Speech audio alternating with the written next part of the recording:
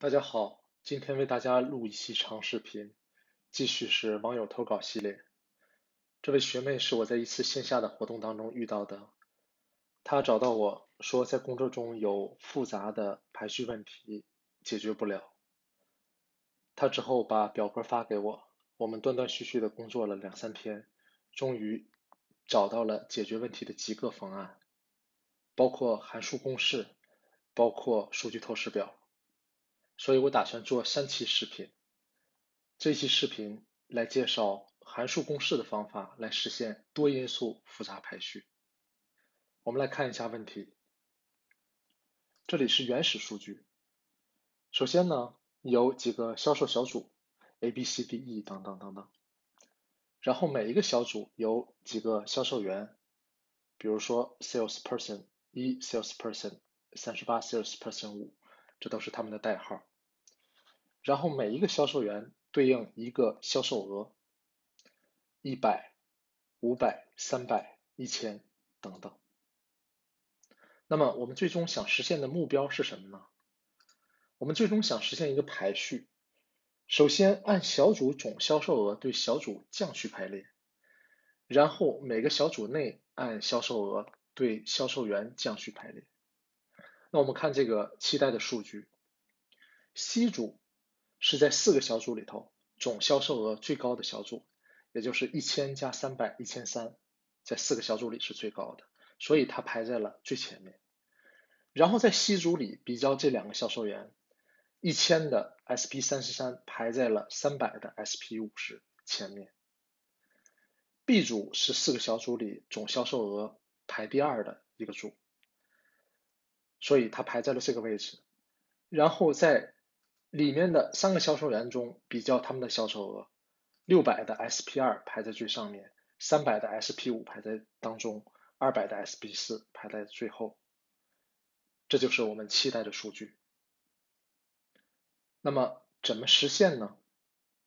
在最新版的 Excel 中推出了一个 sort by 函数，它可以实现多因素排序。也就是说，先取第一个因素。对第一个因素进行排序，如果出现第一个因素相同的情况，那么就看第二个因素，对第二个因素进行排序。如果有第二个因素相同的情况，就看第三个因素，等等。好，为了最终使用 sort by 函数，我们需要准备一系列数据。我们来看一下准备数据的这几步。首先，我们对小组去重复。也就是提取出小组 D、A、B、C，然后我们按小组总销售额对小组降序排列，那么就是找到每个小组的总销售额，然后进行排序。结果就是 C 组一千三排在第一位，B 组一千一排在第二位，A 组八百排在第三位，等等。然后为每一行数据的小组标注序号。怎么来解读这个辅助列呢？首先，我们看第一行的 D 小组，它在这个小组排序当中排到第四位，所以这里写四。A 小组在这个小组总销售额排序当中排在第三位，所以这里写三。B 小组在小组总销售额中排在第二位，所以这里写二。这些数据准备好之后，我们就可以用 sort by 函数了。接下来我们再具体看这里的每一步都是。如何用公式具体实现的？首先，小组去重复，我们用到了公式 unique，很常规的一个函数。然后，在按小组总销售额对小组降序排列中，我们用到了 sort by 函数和 sum if 函数。注意这里用到了参数 e 七井号，它的意思是从 e 七开始向下的所有数，在这里也就是一七一直到一十。这里为每一行数据的小组标注序号，我们用到了 xmatch 函数，同时也用到了 G7 井号，也就是从 G7 到 G10。最后我们用到了 sort by 函数，我们来解读一下，就是首先我们看阶七到阶十六这个数，找到它们最高的值，也就是两个一，它对应的是 C 组的。两个销售员。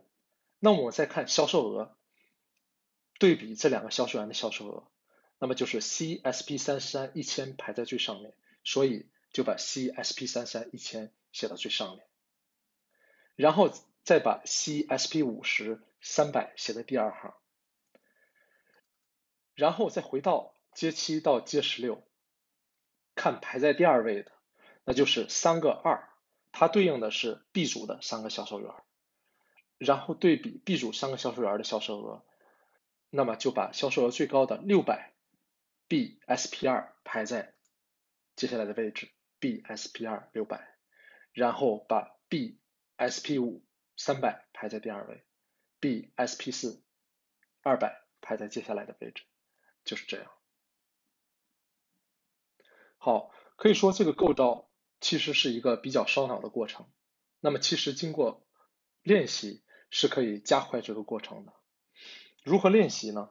首先要熟悉函数，比较常规的有 sum if、unique、sort、sort by、xlookup、xmatch、sequence、rows。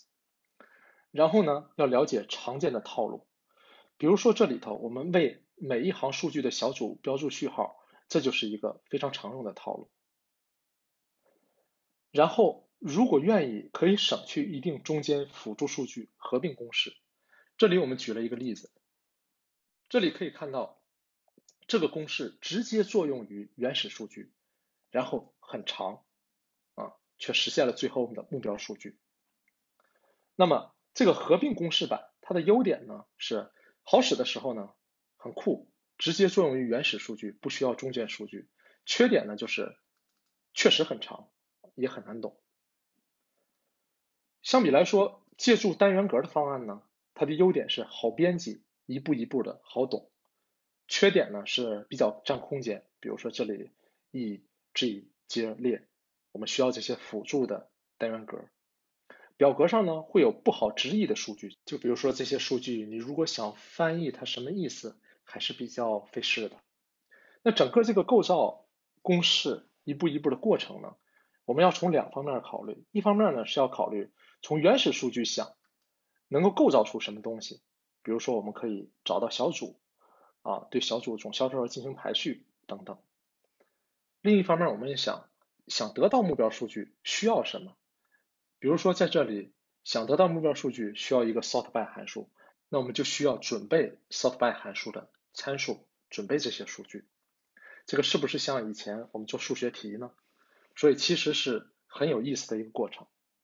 如果大家想要收到这个表格，可以私信我，或者是留言给我邮箱，我会发给表格。